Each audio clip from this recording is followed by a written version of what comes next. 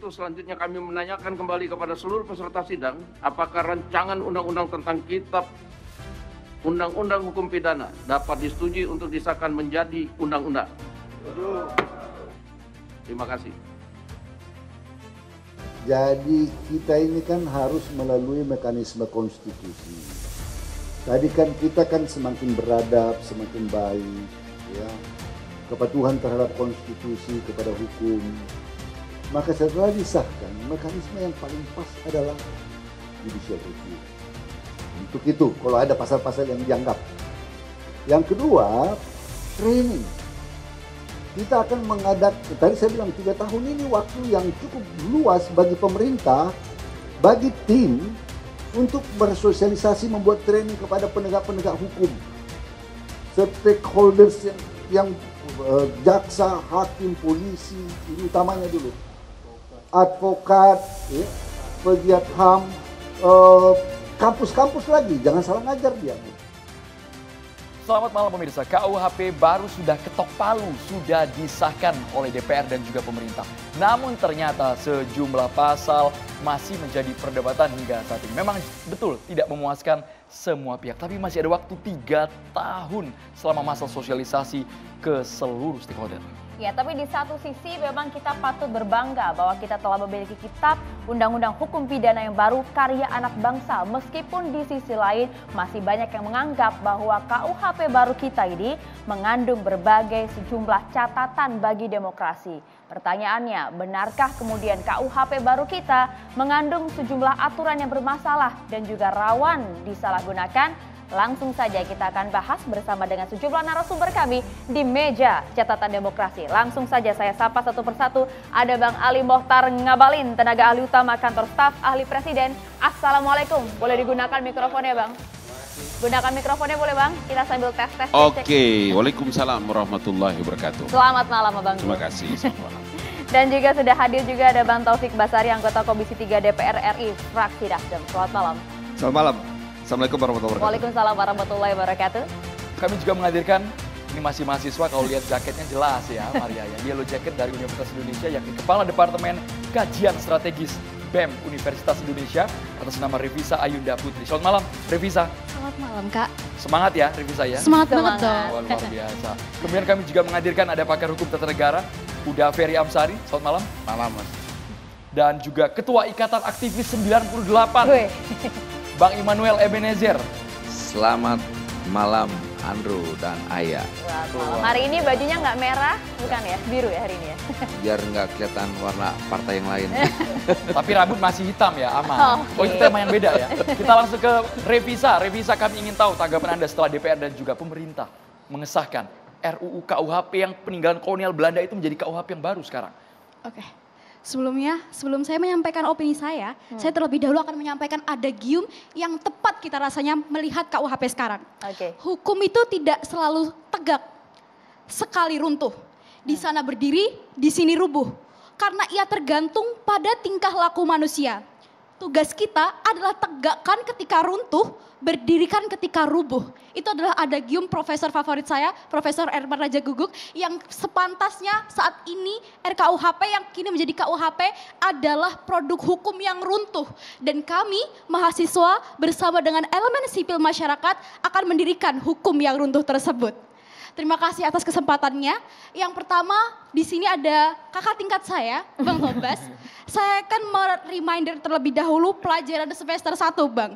Pelajaran tentang pengantar hukum Indonesia, di mana hukum yang baik ialah hukum yang mengikuti perkembangan dari masyarakat itu sendiri. Hukum yang baik adalah hukum yang reaktif terhadap perkembangan masyarakat itu sendiri. Hmm. Tetapi saya rasa di sini KUHP baru kita justru bukan hukum yang reaktif, tetapi justru hukum yang mundur. Kenapa? Kita lihat dari satu tahun ke belakang, mahasiswa, elemen sipil sangat bersemangat dalam mengobarkan, mengkritisi pemerintah dengan segala peraturan, dengan segala permasalahan yang ada di dalamnya. Mulai dari contohnya Omnibus Law, lalu yang akhir-akhir ini penolakan terhadap KUHP, RKUHP.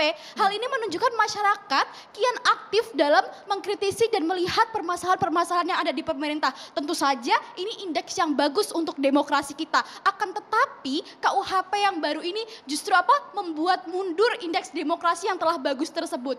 Masyarakat yang dulunya bersemangat menggebu-gebu untuk melakukan aksi unjuk rasa, kini ditakut-takuti oleh KUHP yang baru kita. Di mana apabila tidak ada pemberitahuan, eh, di mana apabila terjadi kerusuhan, maka akan diancam dengan hukuman pidana, di mana hukuman pidana menjadi ultimum remedium, di mana hukuman pidana menjadi hukuman yang berat. Yang tentunya saja hal ini akan membuat takut masyarakat ketika mereka akan menyuarakan aspirasi-aspirasi mereka. Hmm. Lalu di mana kata memajukan, kata mendekolonialisasi itu sendiri, saya rasa tidak ada kata tersebut di dalam KUHP baru kita. Karena saya sendiri pun ketika nanti KUHP disahkan, saya akan hati-hati dalam mengkritik pemerintah. Karena apa? Kritik kan bersifat subjektif. Jadi bagi saya kritik, tapi bagi mungkin bagi Bapak Presiden Jokowi adalah penghinaan, bisa saja saya dipidana karena hal tersebut. Sehingga saya akan semakin berhati-hati. Yang mana hal ini akan menunjukkan penyusutan ruang sipil. Masyarakat yang seharusnya bisa menyuarakan aspirasi mereka karena penyusutan ruang sipil ini, maka indeks demokrasi kita, kemampuan demokrasi masyarakat, kemampuan pola pikir masyarakat untuk mengkritisi pemerintahnya sendiri akan semakin turun. Sehingga saya akan mempertanyakan, apakah KUHP yang baru ini sudah reaktif terhadap kemajuan masyarakat untuk mengkritisi pemerintahnya, justru seharusnya KUHP ini mampu untuk melindungi masyarakat yang reaktif terhadap pemerintahan yang mungkin sekarang bisa dibilang kacau balau kali ya. ya. Harusnya KUHP bisa mendukung hal tersebut, melindungi masyarakat. Tetapi kenapa di sini KUHP yang baru ini justru melimitasi masyarakat dalam sebuah lingkaran jahat bernama KUHP wow. dengan ancaman pidana yang mana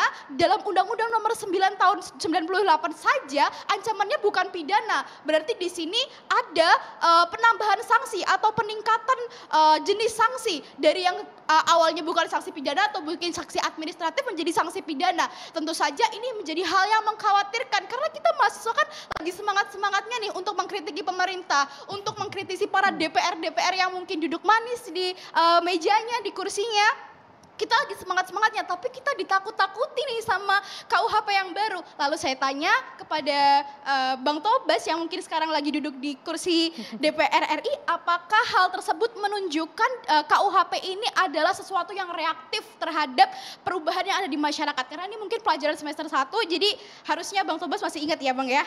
Terus uh, selanjutnya, kembali lagi kami akan menolak baik secara formil maupun material. Sebab apa? Secara formil pembahasan yang dilakukan oleh DPR pada pembicaraan tingkat pertama itu dimulai pada tanggal 24 November. Lalu pada pembicaraan tingkat kedua uh, yang mana diketok kemarin adalah 6 Desember. Ini cuma ber, ber, berselisih beberapa hari saja. Yang mana dalam 24 November sampai 6 Desember DPR tidak mampu untuk menunjukkan partisipasi publik yang bermakna itu sendiri. Padahal apa? KUHP ini seharusnya hidup dengan masyarakat, tapi kenapa masyarakat itu sendiri tidak dilibatkan di dalamnya? Mungkin validasinya hanya sosialisasi, sosialisasi. Hmm. Bahkan Bang Tobas kemarin juga sempat main ke kampus saya, mendapatkan kajian saya, mendapatkan kajian dari BEM UI hmm. dan di situ kami jelas untuk mencabut pasal-pasal bermasalah tentunya pasal tentang uh, unjuk rasa dan juga penghinaan terhadap presiden dan uh, lembaga negaranya. Tetapi dari penyampaian kajian itu saja kami tidak, sama sekali tidak digubris. Uh, argumen-argumen kami tidak ada yang diterima dalam rumusan baru di KUHP itu sendiri. Jadi saya rasa baik penolakan secara formil, material dan juga proses di dalamnya kami masih tegas Oke. untuk menolak KUHP. Ya, kalau gitu langsung saya dijawab boleh Bang Tobas. Betulkah kemudian ini non reaktif dan bahkan juga dianggap mundur dalam hukum? Ya, pertama uh, yang sudah disampaikan oleh teman-teman mahasiswa saya sudah terima dan saya sudah uh, perjuangkan di dalam. Jadi misalnya, bukan nggak digubris ya? Ya, jadi kalau misalnya mengikuti proses pembahasan, proses persidangan, sikap-sikap yang saya sampaikan selama proses penyusunan uh, dan pembahasan RKUHP ini, semua hal-hal yang disampaikan baik itu oleh masyarakat sipil maupun oleh teman-teman mahasiswa saya perjuangkan ya. Saya bawa saya minta untuk dibahas. Jadi bukan tidak digubris paling tidak oleh sejauh saya. apa perjuangan ya. yang dibawa nah, di DPR oke. Okay. nah um, sekarang pertanyaannya begini. Dikatakan sebagai suatu kemunduran. Kalau ke, suatu kemunduran dari titik yang mana? Apakah dari titik KUHP existing sekarang? Kalau KUHP existing sekarang itu jauh jelas lebih buruk dibandingkan KUHP baru ya banyak hal-hal baru yang kemudian dirumuskan dalam KUHP baru yang kalau kita kembali kepada KUHP lama yang saat ini existing itu jauh lebih parah. Itu yang pertama. Yang kedua, uh, kalau kita melihat uh, pasal apa yang masih dipermasalahkan, menurut saya jalan uh, jalan utamanya adalah dengan cara dialog mungkin bisa disampaikan oleh Revisa, oleh siapa pun lah yang yang mengatakan bahwa uh, ada hal-hal yang patut dikritisi dari KUHP baru ini. Oke, pasal yang mana? Biar kita buka bersama-sama, kita ber, uh, baca bersama-sama, kita lihat apakah pasal dengan rumusan yang terakhir yang kemudian kesepakati itu uh, seperti yang dikhawatirkan. Karena perlu kita ketahui bahwa uh, RKUHP ini dia mengalami perubahan-perubahan secara bertahap. Kalau kita bandingkan antara draft 2019 di periode yang lalu dibandingkan draft terakhir yang kita sudah sepakati itu juga jauh sangat berbeda ya apa yang tadi disampaikan uh, yang menjadi kritikan masyarakat selama periode kita membahas ini itu sudah berubah ya contoh misalnya contoh, ya. ya contoh kan ada kritikan mengenai pasal-pasal yang saya kategorikan sebagai pasal-pasal yang dianggap berpotensi mengancam kebebasan dan demokrasi. Hmm. Ya saya kategorikan itu misalnya ada pasal makar, kemudian penghinaan terhadap ke, uh, kekuasaan umum, penghinaan terhadap lembaga negara, uh, uh, penyerangan harkat dan martabat terhadap presiden dan wakil Tempat, presiden, ya. termasuk juga mungkin kita tambahkan saja tadi karena disampaikan terkait dengan um, apa ketertiban umum dalam hal me menyampaikan pawai atau penunjuk rasa. Hmm. Oke, yang pertama soal makar. Ya, kalau kita kembali pada KUHP sekarang, makar yang sekarang ini dengan KUHP existing, ya, yang lama, itu uh, semua orang yang yang bertentangan dengan pemerintah bisa dikenakan dengan subversif. Kita punya pengalaman panjang soal itu. Nah, karena itulah dengan masukan dari masyarakat, saya mintakan kepada pemerintah dan teman-teman yang lain untuk menyetujui bahwa makar kita kembalikan pada istilah orisinalnya itu serangan fisik. Jadi hanya serangan fisik kepada penguasa saja yang kemudian bisa dikategorikan sebagai makar, bukan e, ketika orang-orang yang punya ber, e, berbeda pandangan. Itu satu yang jauh berbeda antara KUHP yang lama existing dengan yang sekarang. Yang kedua, penghinaan terhadap kekuasaan umum yang yang banyak dikatakan oleh teman-teman mahasiswa dan teman-teman lain. Kalau kita menghina pejabat, kita menghina bupati, kita menghina polisi, itu nanti bisa dipidana. Sekarang pasalnya sudah dihapuskan. Menjadi? Gak ada. Hmm. Jadi gitu. Jadi kalau dikatakan kita nanti bisa kena eh, menghina, sudah tidak ada, sudah dihapuskan. Berdasarkan apa? Hasil apa yang kita sampaikan, hasil yang kita bahas, kemudian kita sepakat untuk mencabut itu. Termasuk Bagaimana dengan penghinaan DPR? DPR? Termasuk menghina lembaga kemudian, negara, DPR. Uh, pasal mengenai penghinaan terhadap lembaga negara, itu pasal yang mandirinya kita hapus, tapi kita gabungkan dengan pasal 240 di mana ya pasal 240 juga pasal terhadap penghinaan terhadap pemerintah dan lembaga negara. Tapi lembaga negara kita batasi, hanya beberapa saja. Satu. Yang kedua, kita ubah sedemikian rupa karena kita sadar bahwa kalau saya maunya menghapus, saya sudah sampaikan dalam dalam uh, persidangan kita minta saya minta untuk dihapus. Tapi karena ada pandangan lain yang mengatakan bahwa pasal-pasal ini tetap harus ada, maka kita ambil jalan tengahnya. Jalan tengahnya seperti apa? Dengan kita berikan pembatasan-pembatasan. Pembatasan seperti apa? Untuk penghinaan terhadap uh, pemerintah dan lembaga negara ini kita jadikan delik aduan dan yang bisa mengadukan hanya pimpinan lembaganya saja. Saya ambilkan contoh misalnya, ada perbuatan yang dianggap menghina lembaga Mahkamah Agung. Maka yang hanya uh, yang hanya bisa mengadukan adalah ketua Mahkamah Agung saja. Sementara hakim agungnya, panitera, uh, pejabat Mahkamah Agung, masyarakat, polisi bahkan itu tidak bisa mengadukan persoalan ini. Sehingga pasalnya memang tetap ada, tapi penerapannya juga tidak mudah. Ya kita tidak bisa bayangkan seorang Mahkamah Agung dengan mudahnya ketika ada perbuatan-perbuatan tertentu kemudian lapor, kemudian lapor dan seterusnya. Kalau nah, menghina DPR, Bang? Sama juga eh, menghina DPR harus ketua DPR-nya dengan mekanisme tertentu harus sebagai satu keputusan bersama bahwa perbuatan tersebut diadukan. Jadi jadi betul eh, saya pun juga maunya dihapus. Hmm. Tapi kan kita juga harus mengambil menghargai juga pendapat-pendapat yang lain yang juga menginginkan pasal ini ada. Akhirnya diambil jalan tengah itu ya supaya dia tidak sekaret seperti apa yang terjadi sekarang dengan mudahnya dilaporkan dan sebagainya.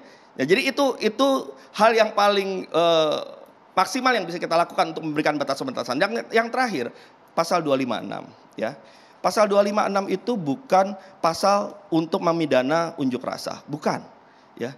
Pasal itu harus dibaca secara keseluruhan karena uh, suatu pidana itu baru bisa dikenakan apabila seluruh unsurnya itu terpenuhi. Satu saja unsur tidak terpenuhi, maka dia tidak bisa kena. Nah, di dalam pasal 256 itu ya, itu adalah ya apabila melakukan pawai, unjuk rasa atau demonstrasi tanpa pemberitahuan yang oke, okay, yang mengakibatkan terganggu yang kepentingan umum, menimbulkan huru hara atau keonaran, baru dapat dipidana. Mengganggu kepentingan umum ini kan nah, kemudian masih abu-abu, Bang. Nah, karena itu, Bagaimana? saya pun juga menyampaikan, menyampaikan itu. Ini masih abu-abu nih. Kita berikan tambahan penjelasan. Ya. Mengganggu kepentingan umum yang dimaksud eh, dalam pasal tersebut adalah apabila ada sebuah eh, unjuk rasa, pawai atau demonstrasi yang mengganggu layanan kepentingan umum seperti Ya. ambulans yang tidak bisa eh, mengantarkan orang sakit. Eh, kemudian pemadam kebakaran yang terhambat akibat pemberitahuan tanpa eh, unjuk rasa tanpa pemberitahuan tersebut. Nah, artinya apa? Kalau misalnya ada unjuk rasa dengan pemberitahuan, kemudian mengakibatkan terganggunya itu, maka dia tidak dapat dipidana. Kenapa? Karena sudah menjadi kewajibannya si aparat penegak hukum untuk mengatur jalannya lalu lintas, membuat pengalihan jalan dan sebe- sebagainya sehingga tidak terganggu. Atau Oke. apabila ada unjuk rasa tanpa pemberitahuan, tapi tidak mengakibatkan hal-hal tersebut, ya. Menutup jalan boleh, tapi kemudian tidak ada ambulans yang terhalang, pemadam kebakaran yang terhalang, itu pun juga tidak dapat dipidana. Nah, jadi cara membacanya harus lebih eh, pelan-pelan, ya, dan bisa memahami apa yang dimaksud dari pasal tersebut. Sehingga Bang Taufik, ini bukan pasal tentang unjuk rasa. Bang Taufik, kalau seandainya unjuk rasa Hmm. sudah menyertakan surat pemberitahuan, tapi di tengah jalan ada chaos di sana, ada Ya. kerusuhan yang terjadi, apakah tetap akan bisa dipidana? Tidak bisa dipidana dengan pasal tersebut. Kenapa? Karena ketika sudah memberitahukan, maka menjadi tanggung jawabnya pihak aparat penegak hukum untuk mengatur jalannya pers- eh, jalannya unjuk rasa tersebut sehingga Oke. tidak ada kepentingan umum yang terhalangi sehingga tidak ada orang-orang yang berupaya untuk membuat keonaran dan huru hara. Nah, jadi di situ cara membacanya. Ya, jadi ya. jangan kemudian kita merasa bahwa ini eh, pasal tentang unjuk rasa enggak, ini tentang ketertiban umum. Pasal ini mengatur tentang ketertiban umum supaya apa? Kepentingan untuk menyampaikan pendapat tetap terjaga, ya, tetap kemerdekaannya tetap terjaga. Di sisi lain, kepentingan orang-orang yang juga banyak kepentingannya, ada kepentingan orang sakit, Ya. ada kepentingan eh, vital lainnya, itu juga tetap terjaga. Oke. Jadi ke- asas keseimbangan ini yang dijaga di Oke. pasal tersebut. Nah, inilah menurut saya, menur- ini problemnya adalah kita mungkin harus memang lebih memahami pasal ini, kemudian kita berdialog sehingga kita punya persamaan persepsi terkait dengan hal-hal Ya. yang selama ini masih Termasuk di dikritik. meja ini Bang Tobas Revisa, sudahkah cukup kemudian penyesuaian itu? Oke, menurut saya ya Bang ya, tadi Abang bilang kalau misalkan penghinaan terhadap DPR contohnya cuma bisa diadukan sama ketua DPR. Penghinaan terhadap Mahkamah Konstitusi cuma bisa dilakukan oleh ketua Mahkamah Konstitusi. Anggota DPR itu kan banyak ya Bang. Bisa aja nih, saya misal contoh anggota DPR, terus saya ngomong ke eh, Ketua. Ketua DPR, Bu, saya merasa terhina nih. Terus haruskah DPR merapatkan hal tersebut bersama-sama? DPR itu tugasnya udah banyak, undang-undang yang seharusnya disahkan banyak, undang-undang bermasalah banyak. Tetapi kenapa justru disibukkan dengan hal-hal yang seper- se- sebenarnya itu tidak penting untuk dirapatkan bersama. Jadi menurut saya itu bukan suatu solusi yang konkret untuk menghadirkan hal tersebut. Lalu Ya, boleh nggak saya jawab Oke, dulu? oke, boleh, Yang boleh. maka Silakan, dari itu singkat. Sebenarnya tidak perlu tidak perlu dilaporkan karena saya dalam posisi juga nggak perlu lapor-lapor seperti itu. Jadi hanya hal-hal yang Kalau sampai ada yang lapor ada bagaimana yang Bang? lapor gimana ya Bang? kalau ada yang lapor, ada yang lapor maksudnya siapa yang lapor? Ketua Anggota DPR. Anggota Nggak DPR. bisa. Hah. Yang hanya bisa melapor ketua DPR. Tapi Lapor kalau ke ketuanya maksudnya, ke Bang. ketuanya, terus Kalau ada yang lapor baper, ketua, baper, gini. Ketuanya bikin rapat gitu gimana Bang? Ya makanya kan akhirnya mekanismenya tidak mudah. Yang yang saya sampaikan adalah ya ha- pasal ini tetap ada karena memang tim Prumus ada beberapa pendapat yang mengatakan bahwa tetap di dalam eh, KUHP kita harus ada pasal yang mengatur untuk menjaga eh, marwah dari suatu lembaga. Oke, ya itu itu kita hormati. Saya tidak dalam posisi itu. Saya tidak dalam posisi yang sama dengan Ferry dengan teman-teman yang lainnya. Ya, nah tetapi ya karena kemudian kita coba cari jalan tengahnya, oke lah kita akui pasal ini ada, tapi kita buat hanya untuk hal-hal yang fundamental sekali, baru pasal ini bisa diterapkan. Sepertinya jalan tengah belum bah- ketemu, Bang. Kita balik ke bahkan jalan kalau- kanan dulu, iya. kita iklan dulu. Bahkan kalau perlu nggak perlu nggak perlu diterapkan gitu. Kita tahan dulu, terima kasih.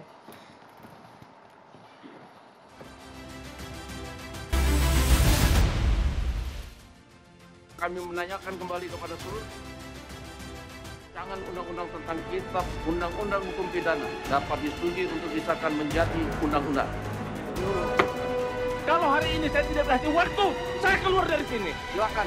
Saya wakil rakyat. seolah-olah mengatakan bebas berhubungan seks walaupun belum nikah. Tapi kalau anaknya keberatan atau ibunya keberatan, itu baru pidana. Di mana logika hukumnya ini?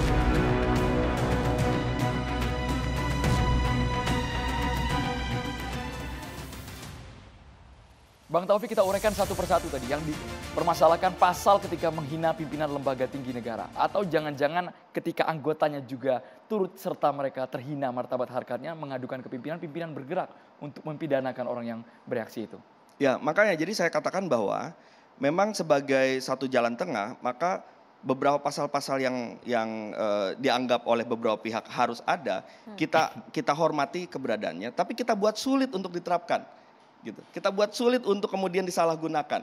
Kita buat sulit untuk dibuat menjadi multitafsir. Contoh Nah, se- sulitnya seperti apa, Bang? Contoh sulitnya misalnya, ya eh, ada seorang anggota DPR, ya sebut saja X gitu, dia merasa ada suatu ucapan seseorang, satu perbuatan seseorang yang menghina lembaganya.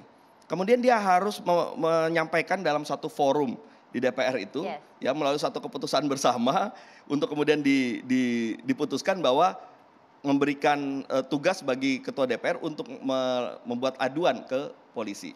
Mekanisme-mekanisme ini saja yang tadi kan dikatakan pekerjaan kita banyak untuk ngurusin hal seperti itu untuk apa? Pasti juga karena juga eh, heterogen di DPR, pasti juga saya pun juga akan mengatakan ngapain seperti itu? Udahlah nggak usah eh, repot-repot. Nah itu yang di- yang menurut yang tadi saya katakan dibuat sulit untuk diterapkan. Sulit tapi masih mungkin kan Bang?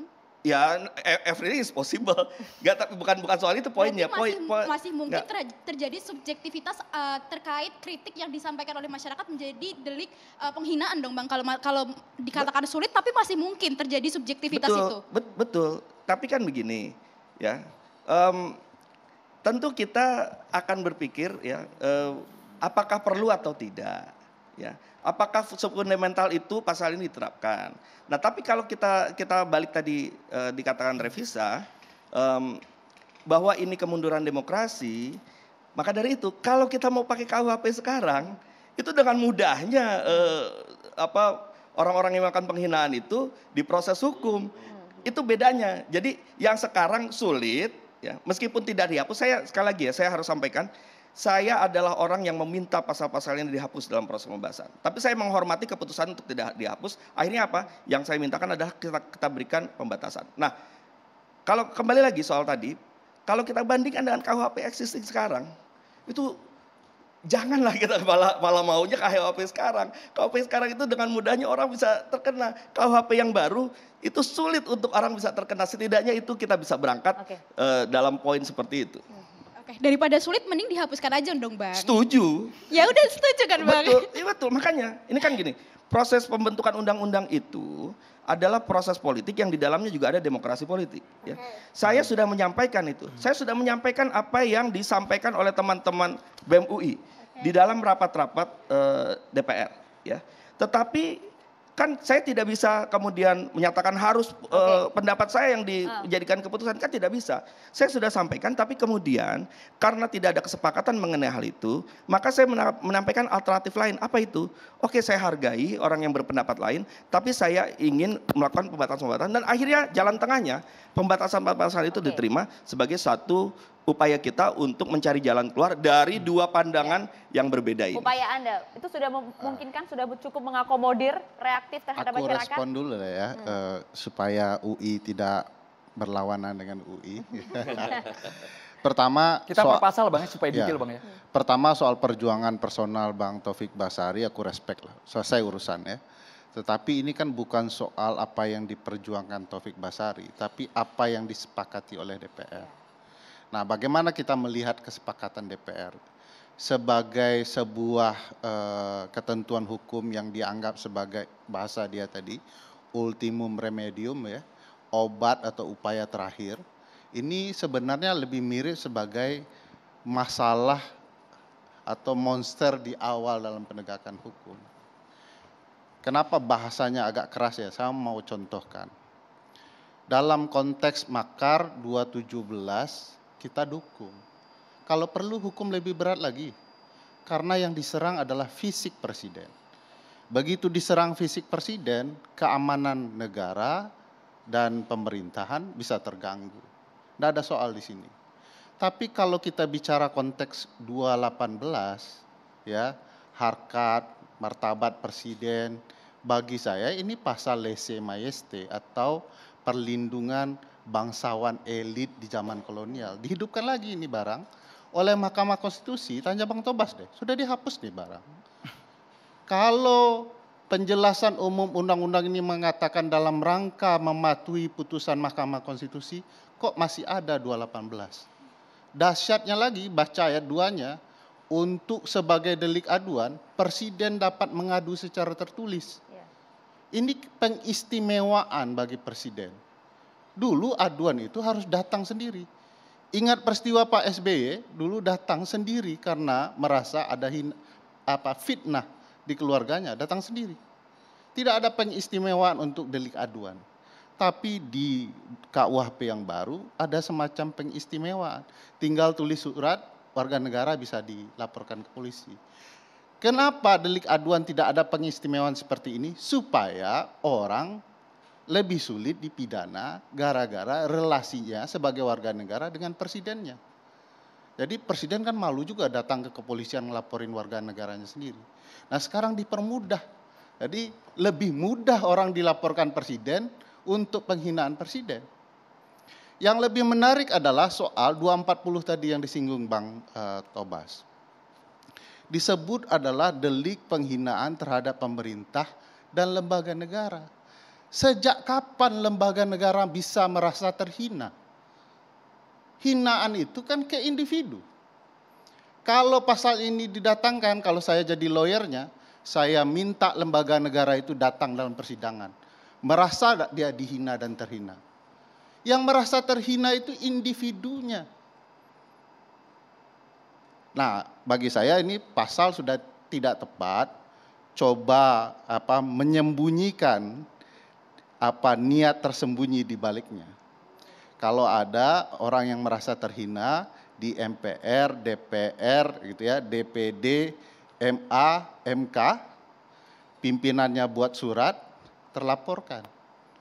Ini pemidanaan yang jauh lebih mudah sebenarnya. Soal tadi Bang, delik aduan yang bersifat untuk presiden, presiden. ini, kenapa Anda tidak setuju dengan hal itu? Karena itu menjaga harkat martabat seorang kepala negara. Beda ya konsep presidensial dan uh, parlementer ya. Di parlementer selain kepala pemerintahan ada kepala negara. Mereka percaya betul keluarga kerajaan itu perlu dilindungi. Di Asia yang paling getol menerapkan konsep perlindungan keluarga kerajaan itu di Thailand ngomong dikit saja hal yang buruk kepada keluarga kerajaan, pidana itu. Nah, di masa kolonial begitu juga di Indonesia. Kalau ratu, gubernur jenderal dihina, kena tuh ibu bapak bangsa kita. Di dalam sistem presidensial, dia ini primus inter pares, ditinggikan seranting saja. Tapi dia adalah warga negara yang memimpin. Sebagai warga negara yang memimpin dengan warga negaranya, dia punya relasi baik saja dan sebagai pemimpin tidak layak dalam konsep presidensial dia melamporkan warga negaranya. Orang primus inter pares dia harus menjaga batinnya, belajar menghormati warga negaranya, tidak mudah tersinggung. Betul-betul negarawan seperti beliau lah. Ya. Harus berhati-hati menyikapi segala kehinaan, bahkan kritik begitu ya, cacian sekalipun saya ingat betul tuh selalu selalu saya contoh ke, kepada mahasiswa. Ada grup band ternama namanya Green Day, ya, saya pernah ulas juga di sini. Dia menghina Presiden Amerika George Walker Bush ya yang menginvasi Irak. Dia sebut sebagai American idiot, presiden idiot gitu ya. Nggak pernah dia di penjara. Karena apa? Presiden sadar betul sebagai pembuat kebijakan potensi seluruh warga negara, sebagian warga negara, sedikit warga negara terhadap kebijakannya tersinggung pasti ada. Hmm. Nah, sebagai presiden yang baik, mau sedikit, mau banyak, mau sedang-sedang, dia tidak boleh kemudian melaporkan warga negaranya hanya karena dia memegang kekuasaan. Ingat, dia punya power. Kekuasaan itu harus dibatasi. Tapi Bang Abalin komentar dulu, Presiden tidak layak untuk melaporkan warganya sendiri, Bang Abalin. Apakah Anda setuju dengan hal itu? Oke, yang pertama saya harus menyampaikan apresiasi dan terima kasih karena catatan demokrasi mengangkat perkara ini. Pertama saya mau bilang bahwa undang-undang, kitab undang-undang hukum pidana yang kita bicarakan hari ini, saya sekaligus untuk membantah di ruang publik bahwa uh, framing yang sedang bergerak, sedang berjalan bahwa sengaja cepat-cepat ditetapkan kitab undang-undang hukum pidana ini agar Presiden Jokowi bisa menggunakan secara represif kepada lawan-lawan politiknya pada 2024. Ini pasti menyesatkan, sesat dan menyesatkan. Kenapa? Karena masa transisi eh, Kitab Undang-Undang KUHP ini akan berlaku nanti di tahun 2025 itu artinya Presiden Joko Widodo tidak lagi berkuasa, sudah berhenti itu waktu. Karena itulah maka mari kita bicarakan baik-baik ini undang-undang karena akan dipakai untuk kepentingan bangsa dan negara. Yang kedua yang saya mau bilang bahwa harus kita bangga loh. Bertahun-tahun kitab undang-undang hukum pidana peninggalan kolonialisme Belanda ini, Hindia Belanda ini bertahun-tahun. Orang-orang selalu bicara ada hukum adat, ada hukum Islam dan yang ketiga itu adalah ada hukum peninggalan penjajah. Sekarang ini syukur alhamdulillah Bang Tobas dengan teman-teman di parlemen dan periode pemerintahan ini kita punya KUHP sendiri. Ya. Bahwa di sana sini oke okay, ada orang boleh kritik pada waktu pembahasan iya. Tapi mari kita hormati keputusan ini karena dia telah menjadi satu keputusan. Ada prosedurnya Pak. Orang boleh menolak. Kau boleh menolak ini perkara-perkara ini semua pada waktu kita berbincang nih barang.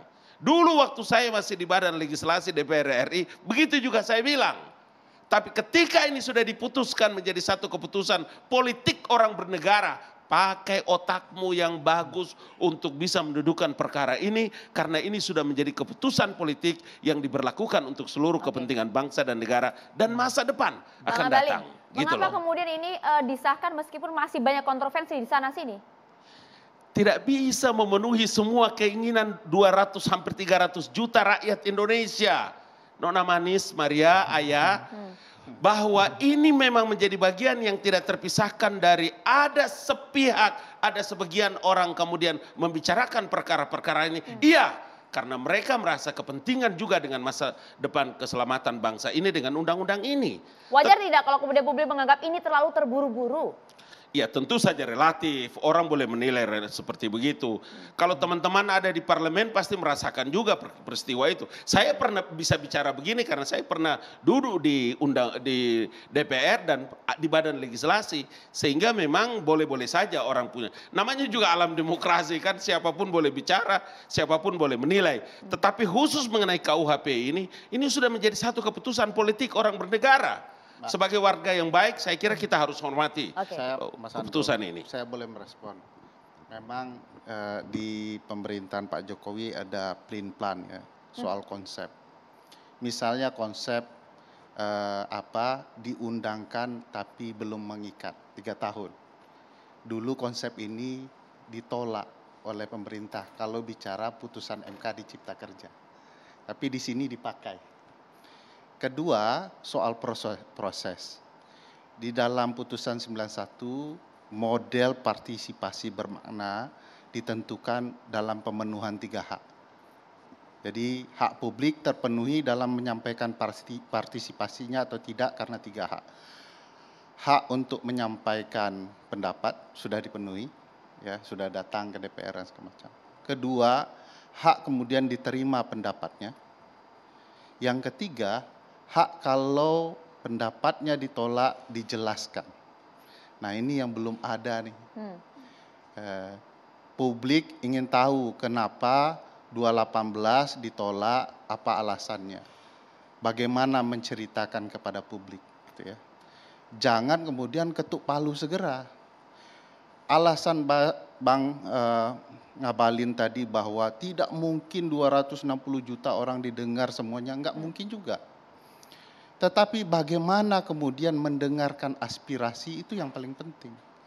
Saya tidak melihat ada upaya yang diterima, dijelaskan kenapa diterima, yang, yang ditolak, juga. kenapa itu alasan ditolak. Nah, bagi, bagi saya di hmm. titik hmm. ini partisipasi bermakna itu hilang. Perlu diingat, meskipun ini tidak tepat betul dalam konteks uh, pembentukan peraturan perundang-undangan, tetapi fase ketika undang-undang ini dibuka kembali perdebatannya oleh Presiden Jokowi, sebenarnya telah berlaku Undang-Undang 13 yang dibuat oleh beliau ya. Dalam konteks Undang-Undang 13 itu ada konsep yang namanya Regulatory Impact Assessment dan ROCIPI. Konsep ini kurang lebih menentukan sebuah undang-undang itu punya impact apa bagi publik. Diteliti dulu tuh.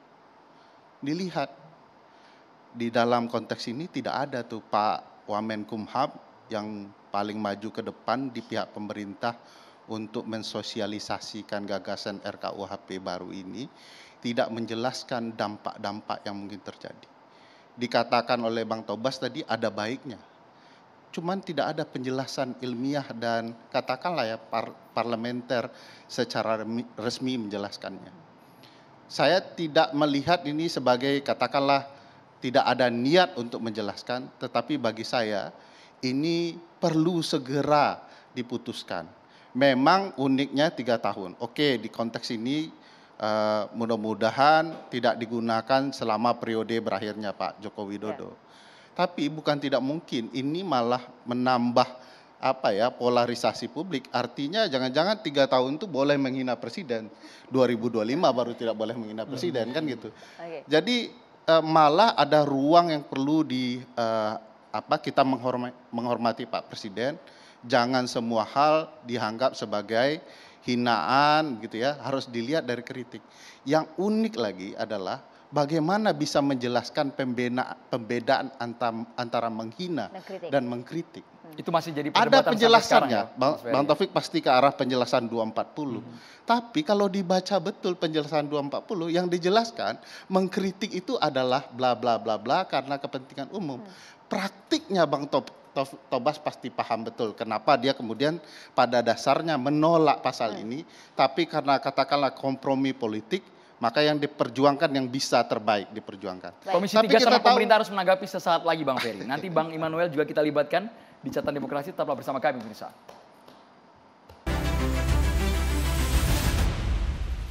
Undang-undang hukum pidana dapat disetujui untuk disahkan menjadi undang-undang kita ini kan harus melalui mekanisme konstitusi. Kita kan semakin beradab, semakin baik, kepatuhan terhadap konstitusi, kepada hukum. Maka setelah disahkan, mekanisme yang paling pas adalah judicial review. Untuk itu, kalau ada pasal-pasal yang dianggap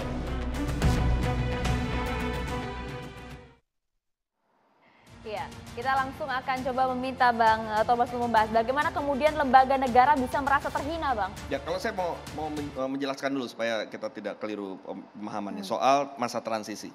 Ya, jadi masa transisi ini memang konsep yang bukan konsep baru masa Presiden Jokowi kemudian dibuat hmm. ada ketentuan mengenai masa transisi. Ini konsep sudah sejak lama sejak KUHP ini dirumuskan memang dipersiapkan harus ada masa transisi. Kenapa? Karena ini KUHP, bukan undang-undang biasa ya. KUHP yang meliputi seluruh aspek kehidupan masyarakat yeah. pidananya. Karena itulah butuh masa transisi, butuh sosialisasi, butuh pemahaman kepada seluruh pihak baik masyarakat, terutama juga para penegak hukum.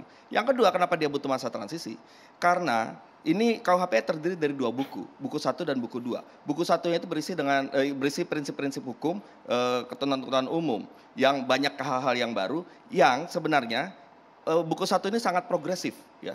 Uh, asas-asas yang dulu belum ada di akhir abad 19 ketika KUHP existing ini dibuat ya. Sekarang sudah ada ditambahkan. Nah, jadi KUHP baru ini berdasarkan buku satu eh, KUHP itu KUHP yang restoratif, korektif dan rehabilitatif dan menempatkan pidana sebagai ultimum remedium. Beda dengan yang KUHP sekarang kita menempatkan uh, retributif semua seolah bisa selesai dengan pemidanaan, pemenjaraan dan sebagainya. Sekarang sudah berubah. Nah, karena itulah maka butuh waktu yang cukup untuk mensosialisasikan kepada aparat penegak hukum yang kita harapkan ketika aparat penegak hukum uh, bisa mengubah cara pandang ya paradigma perspektif ya terkait, terkait dengan penegakan hukum pidana bahkan membangun budaya baru di tengah-tengah masyarakat. Itu yang kita harapkan hasil dari KUHP baru kita. Jadi membaca buku dua buku dua itu berisi telang delik membaca buku dua terkait dengan delik yaitu perbuatan dan sanksinya harus satu nafas dengan buku satu yang berisi dengan prinsip-prinsip dan panduan bagaimana melaksanakan delik-delik ini. Saya mau jelaskan soal masa transisi bukan begitu penjelasan ilmu perundang-undangannya pasal 87 Undang-Undang 12, Junto Undang-Undang 13 20 20 menjelaskan ada tiga kenapa ada masa transisi. Satu belum siap uh, sarana, prasarana, sumber daya manusia. Kenapa dibutuhkan tiga tahun sosialisasi? Ini kan buku uh, kitab Babon ya, besar sekali gitu ya kitab sehingga butuh kemudian penyadaran-penyadaran baru bagi aparat penegak hukum, warga negara dan lain-lainnya. Kita tidak persoalkan itu. Persoalannya adalah ada pasal-pasal yang saya anggap sebagai nila dalam susu sebelanga. Banyak pasal yang bagus, gara-gara beberapa pasal rusaklah kitab yang disusun para maestro hukum pidana Indonesia ini. Itu yang tidak terekspos Bang Immanuel mungkin ingin komentar lo sebelum, ke Bang Taufik Gini, Basari pasal-pasal eh, yang mungkin Sebenarnya sih kita senang-senang aja ya. Anak bangsa ini membuat sebuah terobosan dengan membuat produk undang-undang. Tapi dari beberapa pasal yang kita lihat, roh dan nafas eh, apa mental kolonialnya masih terlihat daripada eh, kita sebagai anak bangsa yang selalu menjunjung tinggi prinsip dalam masyarakat demokratis kita. Kita lihat hampir semua dari dari pasal 1 yang yang dari 13 pasal yang kita tolak ini, ini kan rohnya ini buat roh negara yang sangat totalitarian sekali, bangsa-bangsa yang otoriter lah ya kita lihat. Dan ini kan tidak bagus, apalagi soal mengkritik. Kekuasaan itu semau maunya aja bisa menerjemahkan yang namanya kritik dan penghinaan. Dan itu sudah terjadi di ya di saya sendiri pernah terjadi itu dan saya lihat di kawan-kawan saya sendiri. Kalau semuanya bisa menafsirkan semau kehendaknya, sama juga kita memberi ruang kekuasaan semau maunya juga. Artinya apa? Rakyat tidak mendapatkan kontrol dan ini jauh dari napas kita sebagai bangsa yang sangat demokratik. Dan ini harus kita tolak, tidak bisa tidak. Nah tadi Bung Tobas sudah luar biasa. Berdialog itu memang penting. Nah yang kita kritik kemarin kayak, ya kalau mau ke MK aja. MK-nya beda pandangan aja dicopot besoknya. Mau gimana? Ruang hukum yang mana lagi kita mau percaya gitu loh. Nah di sinilah pentingnya dialog. Makanya saya sih masih percaya lah ya dengan adanya kawan-kawan saya di DPR. Mungkin mereka juga lengah, terlalu letih merumuskan undang-undang yang yang berat ini. Atau mereka malas atau apalah saya tidak tahu. Tapi semangatnya kawan saya ini tidak berubah. Apalagi Bunga Balin kita jangan sampai memberi ruang uh, kekuasaan terlalu besar. Gitu. Ini bahaya. Karena dalam uh, masyarakat demokratik, kritik dan sebagainya itu hal yang biasa. Dan ini memang harus kita sadarkan publik dengan hal-hal yang kritis. Jangan lagi, ini saya takut logikanya ini logika feodalistik sekali. Gitu loh. Undang-undang korupsi yang dulu dapat denda 200 juta, sekarang cuma 10 juta. Nanti ramai-ramai orang korup.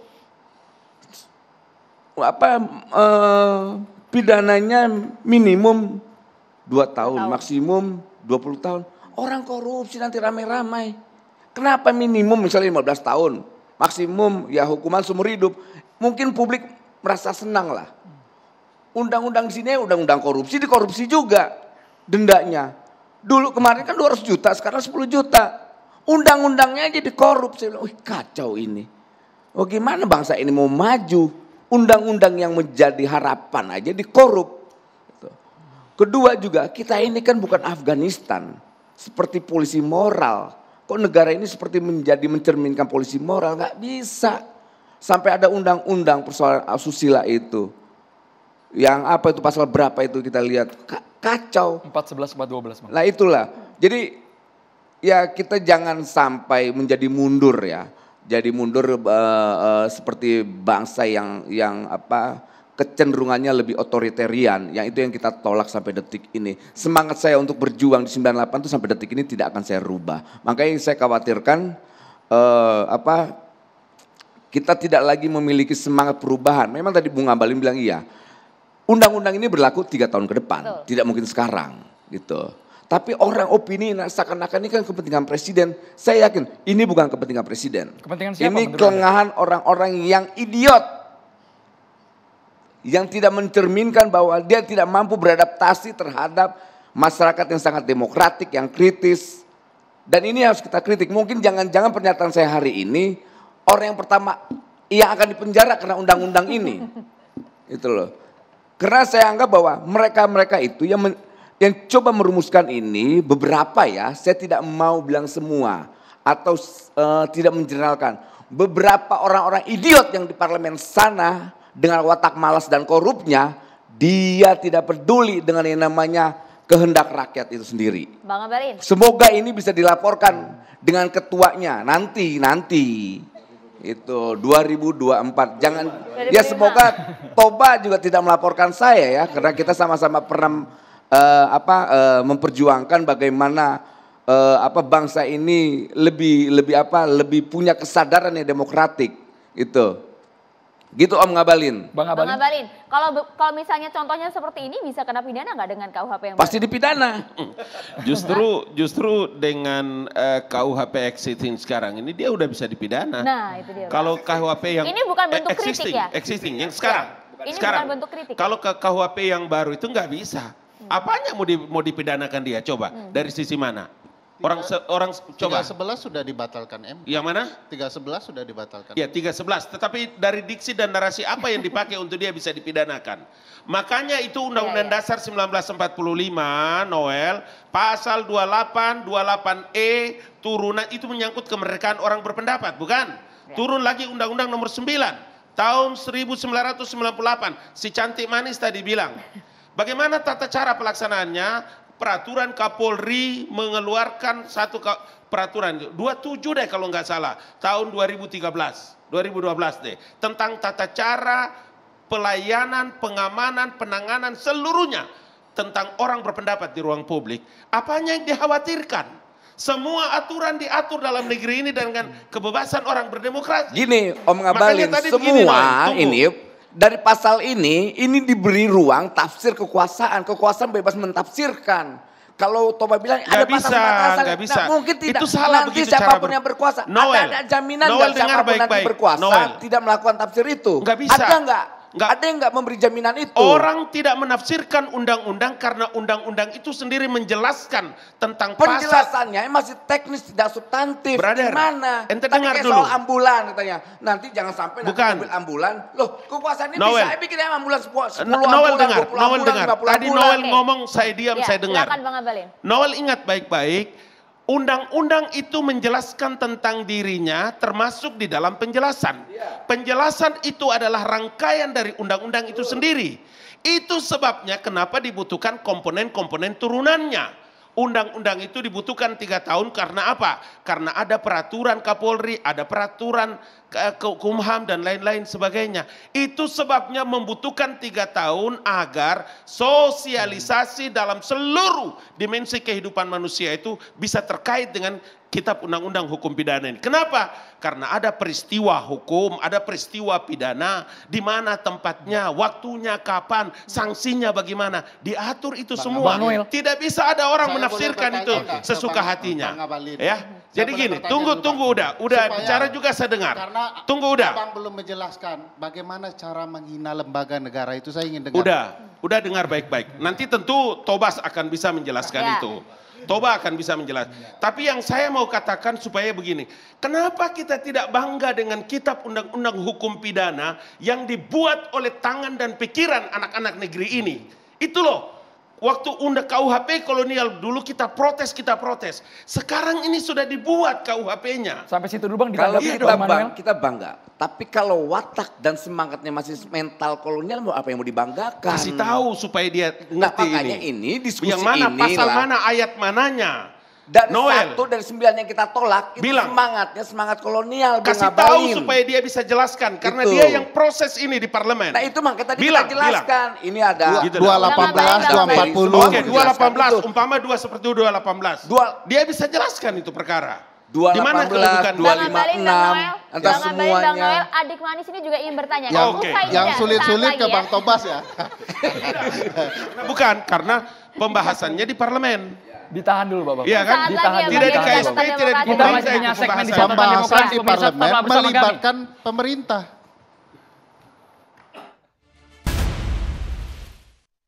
Kami menanyakan kembali kepada seluruh peserta sidang, apakah rancangan undang-undang tentang kitab undang-undang hukum pidana dapat disetujui untuk disahkan menjadi undang-undang. Kalau hari ini saya tidak berhasil waktu, saya keluar dari sini. Silakan. Saya wakil rakyat. Seolah-olah mengatakan bebas berhubungan seks walaupun belum nikah. Tapi kalau anaknya keberatan atau ibunya keberatan, itu baru pidana. Di mana logika hukumnya ini?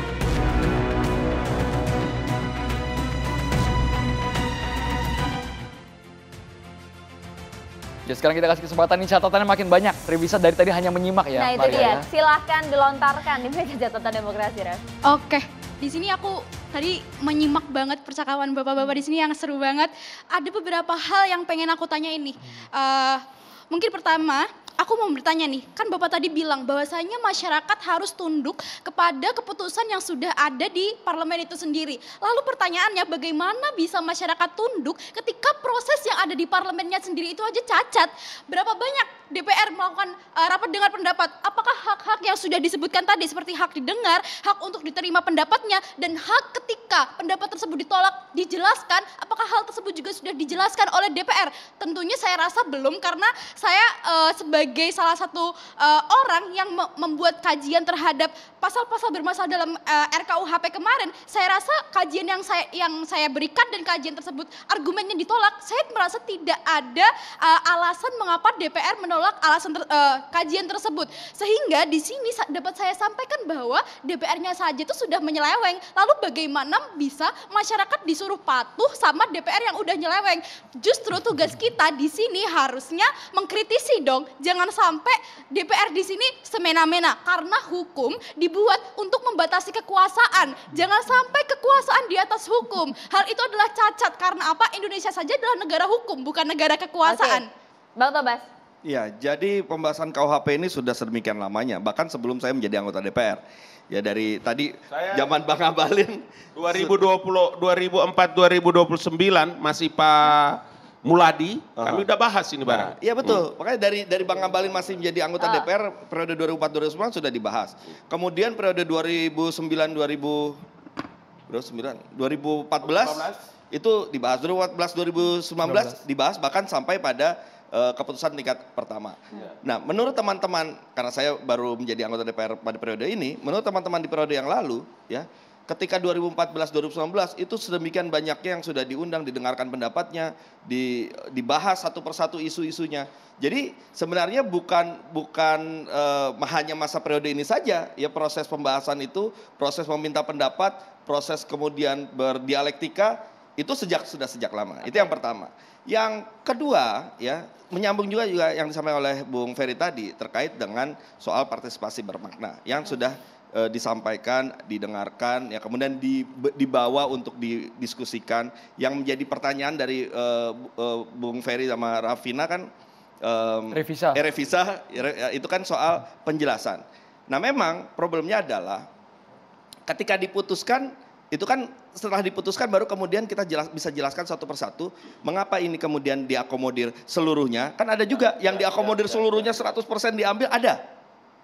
Jadi variannya macam-macam. Ada yang diakomodir tapi dalam bentuk uh, kita rumuskan ulang. Semangatnya diambil, uh, poinnya diambil tapi rumusannya memang tidak persis sama seperti tuntutan yang disampaikan. Ada juga yang dalam bentuk diakomodir dalam uh, penjelasan tambahan penjelasan. Jadi macam-macam bentuknya. Ada yang kemudian tidak terakomodir, ada juga. Ada juga. Nah, jadi ada yang juga dihapuskan pasalnya. Nah, jadi macam-macam variasi terkait dengan akomod, uh, akomodir dari tuntutan-tuntutan masyarakat. Makanya karena itu tadi saya berulang kali sampaikan, ayo kita cek proses pembahasannya. Mana yang diakomodir, mana yang tidak diakomodir. Jadi jangan kemudian mengeneralisir bahwa seolah-olah tidak didengarkan okay. seluruhnya, tidak diakomodir dan sebagainya. Nah, sekarang soal penjelasan ya. Dalam diskusi kita ini ya secara singkat dan pada saya ingin sampaikan bahwa uh, tadi pendapat-pendapat tadi bahwa negara harusnya uh, dalam posisi dia uh, memberikan ruang kebebasan yang luas, uh, posisi kekuasaan itu seperti apa, itu betul. Tapi jangan salah, ada juga pendapat lain, termasuk pendapat dari para guru-guru besar bahwa dalam hukum pidana juga selain melindungi masyarakat juga harus mengatur agar kekuasaan ini juga bisa berjalan ya dengan perlindungan-perlindungan ya. hukumnya uh, terkait dengan hukum pidana. Hmm. Ada yang berpendapat seperti itu. Jadi begini, ya. jadi pendapat ini ada, betul yang disampaikan kita kita semua di sini, termasuk juga saya pun juga dalam posisi yang sama sebenarnya dalam pendapat ini, tapi juga ada pendapat lain. Nah, karena itu saya jelaskan dalam kesempatan ini bahwa kenapa akhirnya rumusannya menjadi seperti itu. Karena dua pendapat ini yang coba kita akomodir, ya. Akhirnya kita carikan jalan tengah, ya. Kekhawatiran kita coba uh, jawab dengan membuat rumusan batasan yang Mudah-mudahan kekhawatiran itu tidak terjadi ya eh, dengan batasan-batasan, tapi di sisi lain pendapat para guru besar, pendapat para ahli, pendapat beberapa kalangan masyarakat yang merasa bahwa memang tetap harus ada pasal yang memberikan ya. perlindungan bagi harkat martabat kekuasaan presiden dan sebagainya. Dewan, nah itulah yang kemudian yang juga terakomodir. Jadi pertanyaan saya ini ke pasal korupsi.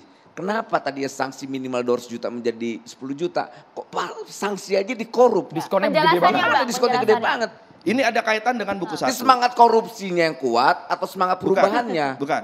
Jadi gini, KUHP itu adalah rekodifikasi. Ya, kemudian ada buku satu yang kita membuat satu eh, eh, apa ya, satu konsep yang membuat semuanya sama. Ya, contohnya begini. Ya, Em, ancaman pidana kita buat dia ada kategori yang eh, perbuatan tertentu maka dia ancaman pidananya lima tahun, ada yang empat tahun, ada yang 10 tahun, ada yang eh, 20 tahun, ada yang seumur hidup misalnya begitu. Termasuk juga eh, kategori dendanya. Kita juga sesuaikan dengan kategori eh, beratnya pidana ini. Nah terkait dengan eh, berkurangnya ancaman minimal Iya. menjadi dua tahun itu berdasarkan keterangan dari tim Perumus ya itu berdasarkan satu kajian bahwa dalam satu kasus-kasus korupsi itu peran masing-masing berbeda-beda. Nah ketika kemudian seorang hakim sudah dipatok bahwa minimal itu lima tahun, sementara ada juga peran-peran tertentu dalam kasus korupsi, misalnya dia perbantuan atau dia hanya sekedar ya ketidaktahuan, kebodohan dia akhirnya dia terlibat dalam kasus itu, yang akhirnya si hakim jadi terikat dengan eh, huku- eh, batas minimal bawah itu, maka akhirnya ketidakadilan yang muncul. Oleh karena itu, ini kan soal Bukan rentang. dengan ada pasal ini Bukan, ini soal memungkinkan orang untuk lebih korup. Bukan, Karena gini, bukan. dengan rendahnya uh, tuntutan minimalnya, Minimal. kemudian uh, sanksinya dari 200 juta menjadi 10 juta, ini orang saya yakin ke depan ini orang berbondong-bondong menjadi koruptor. Karena apa? ini- dendanya dikit, dikumpulnya juga Ya, dikit kok. Ini soal penyesuaian Gini gini, konsepsi coba pidana. Jadi ini soal konsep. lihat gini, Bukan- bukan ini ini realita ya realita. Penegak hukum kita ini masih lemah. Lihat ruang pengadilan kita juga masih lemah, hakimnya juga masih lemah. Kita harus berani mengkritik itu. Betul, betul. Nah karena Artinya itu jadi ruang Noel, korup transaksi dalam hukum itu sampai detik ini masih ada. Betul. Penegak hukum salah satu aktornya. Nah karena itu kan kita harus bisa memilah. Ya permasalahannya di mana? Apakah permasalahannya ada pada rumusan pasal atau permasalahannya pada implementasi yang harus kita juga perbaiki. Jadi soal implementasi memang kita punya PR banyak nih. Ya, yang saya karena khawatir itulah maka dengan jangan-jangan produk pasal ini ini hasil kompromi para anggota dewan yang wataknya korup. Enggak, enggak, enggak. Eh, Bukan. nggak apa-apa. enggak. Ada lobby-lobby aja di sih sana, nggak Bang. masalah kok. Enggak ada, enggak ada. Ini ini soal soal konsepsi. Jadi memang tadi ya kita harus menyesuaikan ya kategori perbuatan tertentu dia masuk dalam kategori mana. Tidak dipukul Ber- rata. Beratnya enggak dia jadi ada ada kategori-kategorinya ya. Eh, perbuatan ini dia masuk kalau dia berdenda maka kategori satu kah, kategori dua, kategori tiga sesuai dengan eh, ringan beratnya.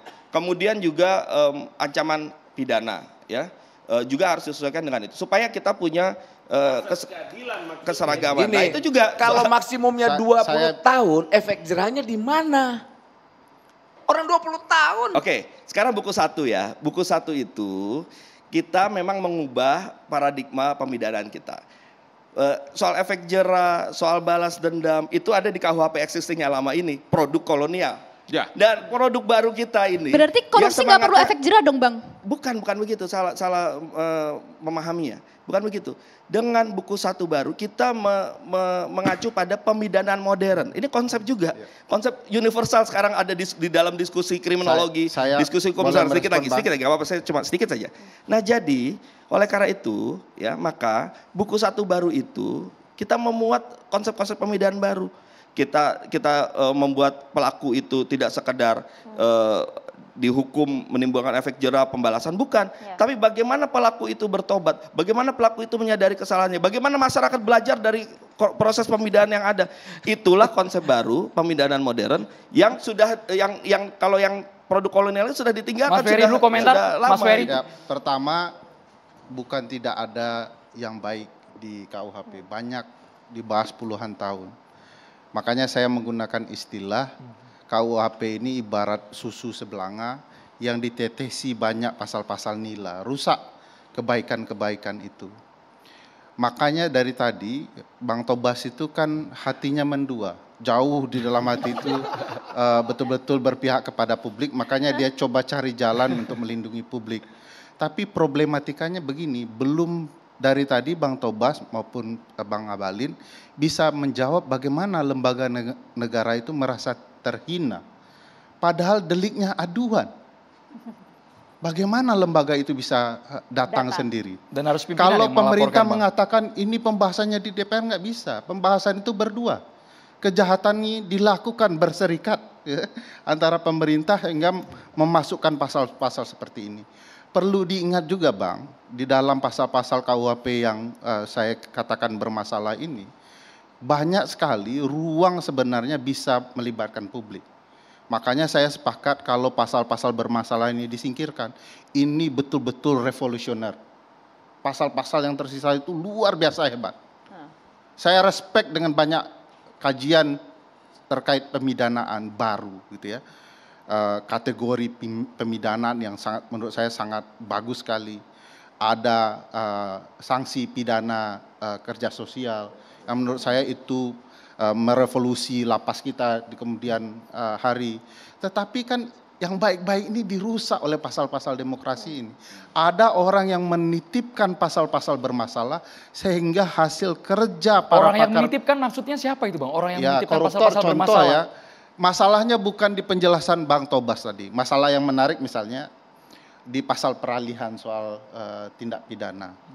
Dalam proses menjelang diberlakukan, ketika orang dalam proses eh, peradilan, pasal peralihannya mengatakan, maka nanti akan dipilih pasal yang meringankan. Ini sedang jalan nih, masuk tiga tahun. Kalau kasus korupsi, tentu akan terdampak kepada pasal yang meringankan. Saya berpikir jangan-jangan menjelang 2025, dulunya para koruptor menunda-nunda proses persidangan, buru-buru mereka ngata- mengatakan sidang kami segera. Karena apa? Mereka akan mendapatkan kompensasi dari pasal meringankan. Secara azas hukum ada nih. Ya, justru Ya, itu asas betul, hukum. makanya saya itu asas setuju. hukum universal yang Betul, kalau kita azas salahkan berarti kita menyalahkan satu prinsip hukum yang, yang berlaku secara mestinya umum. dikesampingkan untuk memberantas korupsi. Khusus korupsi bagi saya tidak berlaku konsep azas universal. Saya akui itu memang ada azasnya. Ya, itu ya kita tidak gini. Kalau kita bicara soal konsepsi teoritik dan sebagainya, ya satu, suatu asas hukum yang bersifat universal yang tadi disampaikan oleh Bung Ferry itu asas hukum.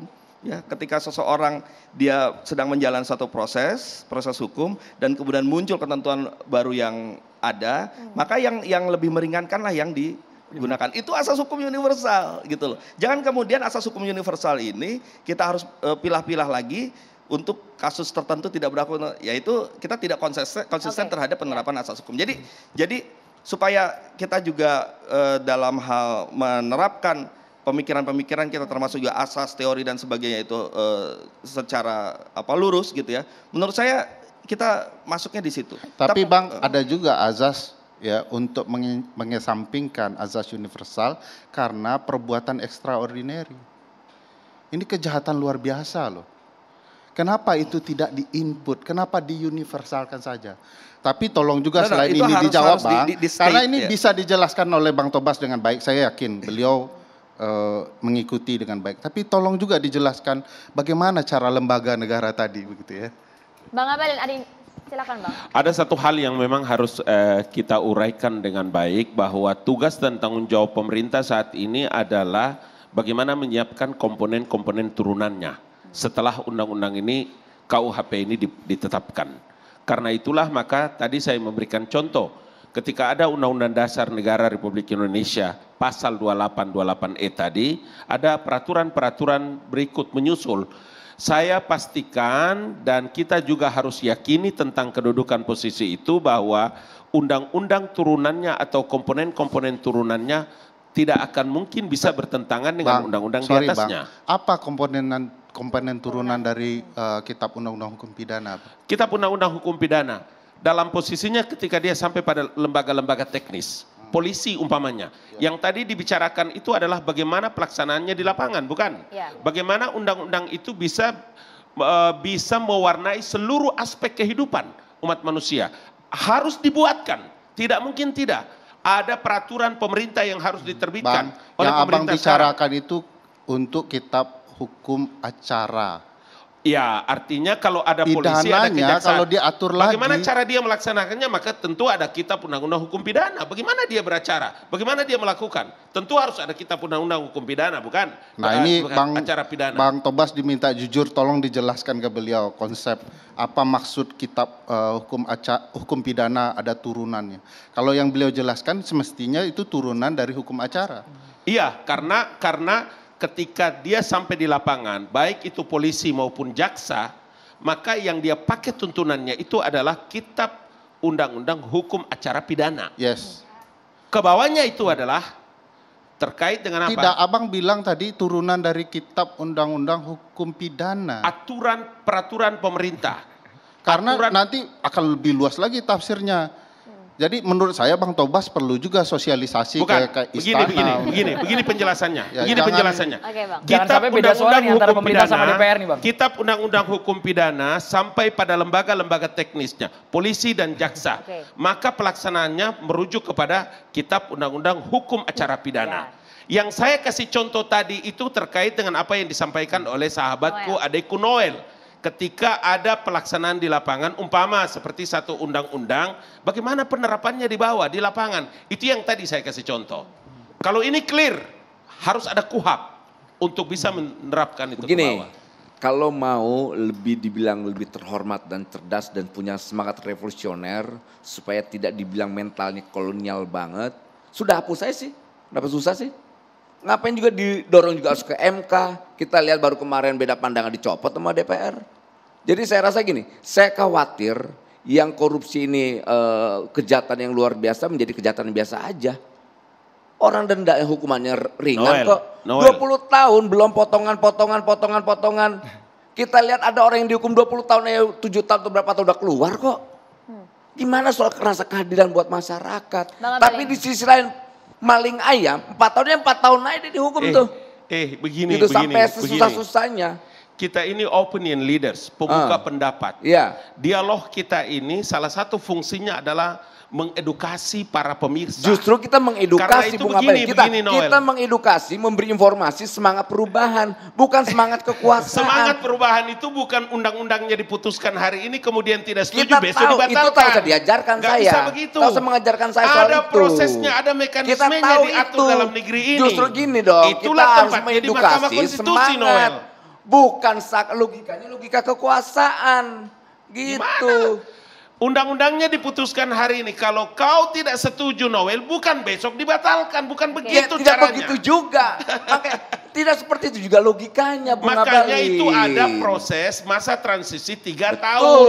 Ya. Tiga tahun itu supaya semua orang bisa melihat, pemerintah juga bisa menyusunnya dengan baik, bagaimana lembaga teknisnya dilaksanakan dengan baik. Bukan diputuskan hari ini kau tidak setuju, besok Iya, dibatalkan. betul. Nah, kalau gitu gini dong. Iya dong. Semangat untuk membatalkannya harus kita sepakati gitu. Sepakat nggak untuk dibatalkan berapa dari Tidak yang kita mungkin tolak ini? dibatalkan. Ya udah kalau gitu kita tolak. kau melalui Sepakat kita tolak itu? Tidak Dan boleh ditolak. Bang tidak Bang Ditolak dong. kita Ini dengarkan suara mahasiswa. Kita Kita dengarkan suara mahasiswa. Bisa. Cukup. Bang Noel. Ini Bang udah Abalin. diputuskan jadi Sudah keputusan politik negara. tolak. Ini sama-sama opini yang yang punya sudut pandang yang berbeda. Ya, Revisa silakan. Oke, di sini permasalahannya seperti yang udah dibilang tadi. Katanya ada pasal yang diakomodir menggunakan penjelasan. Katanya ada peraturan turunan yang akan turun dari kitab undang- undang-undang hukum pidana itu sendiri. Tetapi bagaimana kita yakin dari kitab undang-undang hukum pidana yang masih bermasalah ini bisa menurunkan peraturan turunan yang spesifik, yang konkret. A- Akan ini akan buka celah peraturan turunan yang sama-sama multitafsir, peraturan turunan yang sama-sama cacat. Bagaimana ini? Ya, Bang Taufik jadi ya, jadi begini. Makanya saya selalu menawarkan ayo kita buka eh, rumusannya bersama-sama, kita baca bersama-sama. Ya. Yang dimaksud bermasalah itu yang mana? Nah, Dari kemudian sudah kita bahas nih, Nah, itu dia makanya. makanya makanya Karena ini kan, begini, ini karena kan begini Tobat. Umum. Ini sama seperti itu, orang PBB itu. Sa- Dia membaca draft tanggal 9 November. Sementara draft akhir dari penetapan KUHP ini sudah ada. Apa urusannya juga dia bicara tentang urusan dalam negeri kita tentang undang-undang ini. Bang Abalin, Di situlah persoalannya. Mari kita baca 240 soal penghinaan lembaga negara itu. Nggak- nggak, Tolong sekarang- dijelaskan. ya, kan dulu. tantangannya ya. Nggak. Tantangannya mari buka. Nah saya tawarkan ayo kita buka 240 dan penjelasannya. Apa maksud menghina lembaga negara Baik, itu? Bapak, Tolong Bapak. jelaskan. Kita masih ada waktu sekitar tiga tahun nanti dari DPR dan pemerintah untuk mensosialisasikannya. Mohon maaf durasi di sini sangat terbatas. Kita akan Oke. segera kembali sesaat lagi pemirsa tetap di catatan demokrasi.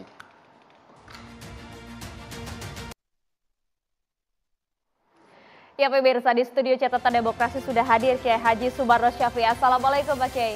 Assalamualaikum warahmatullahi Silakan. Assalamualaikum warahmatullahi wabarakatuh. Alhamdulillah wassalatu wassalamu ala Rasulillah Sayyidina wa Maulana Muhammad bin Abdullah wa ala alihi washabi wa man tabi'ahu huda ila yaumil qiyamah amma ba'd. Para pemirsa catatan demokrasi di mana Anda berada, alhamdulillah malam hari ini kita sudah mengikuti satu diskusi yang luar biasa. Diskusi kemasyarakatan, diskusi kebangsaan, dan diskusi peradaban. Karena hukum tidak lepas dengan peradaban dan dari hukum pula lah lahirnya tatanan sosial kehidupan manusia berbangsa dan bernegara. Kita syukur Alhamdulillah dari tahun 63 saat ini kita baru punya undang-undang hukum pidana sendiri. Walaupun terus terang di sana ada sana sini banyak kekurangan produk manusia. Andai pun ada yang salah, ada yang kurang. Ini satu istihad. Salahnya pun masih mendapatkan pahala. Saya hanya menekankan ke depan walaupun masih tiga tahun ke, depan kita akan melakukan ini undang-undang. Karena di dalam filosofi hukum agama, syariat itu adalah tatanan kehidupan manusia dengan asas dasar yang pertama, adamul haraj. Yani bagaimana menjauhkan daripada bahaya menjauhkan daripada petaka, menjauhkan daripada segala macam permasalahan. Saya khawatir ketika hukum ini tidak berorientasi ke depan seperti itu, nanti malah hukum menjadi masalah. Yang kedua, ingat, saya hanya menyampaikan sebagai bagian daripada kehidupan masyarakat. Jadikan hukum ini adalah taklilu takalib. Untuk meringankan beban kehidupan masyarakat. Jangan hukum itu malah membebani masyarakat. Kalau sudah hukum itu membebani masyarakat akan kembali membebani negara. Kalau sudah membebani negara, maka terus terang alangkah buruknya pembuat-pembuat hukum dan perancang-perancang undang-undang ini bukan membangun bangsa dan negara, malah akan bisa merusak bangsa dan negara. Yang ketiga, setuju atau tidak setuju? Tadrid bitasrib. Memang harus melalui tahapan. Tidak bisa sekaligus. Ini masih ada tiga tahun. Mari kita lapang dada, tapi secara konstitusional. Bukan kita berteriak di jalanan. Sebagai bangsa yang beradab, ada lembaga kita. Di MK kita berbicara. Di situ akan diputuskan. Bukan di publik kita berkoar-koar. Malah akan kelihatan saling menjatuhkan satu dengan yang lainnya. Saya juga paham. Masih ada 10 pasal yang saya perhatikan. Yang mengganggu pikiran saya. Bung Abalin tahu karakter saya. Dan ini adalah adik perjuangan 98 saya. Saya kenal betul beliau, betul beliau juga tahu saya. Oleh karena itu saudara-saudara, para pemirsa, di mana pun Anda berada, jadikan masa depan kita sebagai bangsa yang beradab. Andai pun masih ada kekurangan tiga tahun ke depan, yuk mari kita diskusikan dengan baik. Dengan lapang dada. Andai pun ada yang terpotong dan harus terganti, yang lebih baik dari mana pun yang kita ambil, asalkan itu positif, buat kehidupan bangsa dan bernegara ke depan, itu yang kita ambil. Unzur makol, walatandur mankol. Lihat apa yang diucapkannya, jangan melihat siapa yang bicaranya. Walaupun lembaga pentinggi yang berbicara, tapi kalau isinya maaf, hanya kotoran ayam, lebih baik kita cari telur ayam walaupun keluar dari keranjang ayam. Saya kira itulah walaupun ini perbicaraan kita ibarat pemain bola antara Argentina dan Belanda. Ya, ini antara Argentina dan Belanda sudah selesai sudah tiup peluit. VR sudah dinyatakan bagaimana Argentina harus duduk untuk masuk ke dalam semifinal. Belanda oleh mati-matian dia berjuang, tapi apa boleh dikata? Tinggal tunggu nanti permainan akhirnya. Mudah-mudahan saya berdoa bangsa kita ke depan dengan lahirnya kuhab yang baru akan memiliki peradaban yang lebih tinggi dari seluruh bangsa yang lain. Boleh bangsa lain takut dan khawatir tentang kuhab yang dibicarakan kita hari ini. Sampai dunia lain belum apa-apa. Australia sudah ketakutan dan kebingungan. Terus terang, Qatar tidak pernah takut untuk menegakkan hukum. Ambillah contoh. Bangsa yang beradab, bangsa yang konsisten dengan hukumnya. Kalau kita konsisten dengan hukum kita, peduli apa dengan bangsa lain? Mereka tidak ada kontribusi besar kepada bangsa kita. Cuman satu pesan saya, Pak Jokowi pernah bilang, miskinkan koruptor. Hmm. Ini mumpung ada pengabalin saya bicara. Kalau sudah pesan Pak Jokowi miskinkan koruptor, kenapa masih ada di, di dalam kuhap ini koruptor seakan mendapatkan peluang dan keringanan. Salam saya pada untuk Pak Jokowi melalui pengabalin mudah-mudahan nanti bisa diskusikan bareng-bareng. Sekian wabillahi taufiq wal hidayah. Wassalamualaikum warahmatullahi wabarakatuh. Waalaikumsalam warahmatullahi wabarakatuh. Terima kasih banyak Pak Kiai Ismarul langsung dicatat sama Bang Ngabalin. Terima kasih banyak nanti disampaikan kepada Pak ya, Jokowi. Ya, Terima kasih banyak Bang Taufik Basari. Terima kasih Rafisa, terima kasih juga sudah hadir di sini Bang Ferry. Bang Noel, terima kasih. Pemirsa kita akhiri catatan demokrasi hari ini. Kita berjumpa lagi minggu, minggu depan. Saya Maria Segaf. Dan saya Andrew Medan Merkuri. Terima kasih, selamat malam. Sampai jumpa.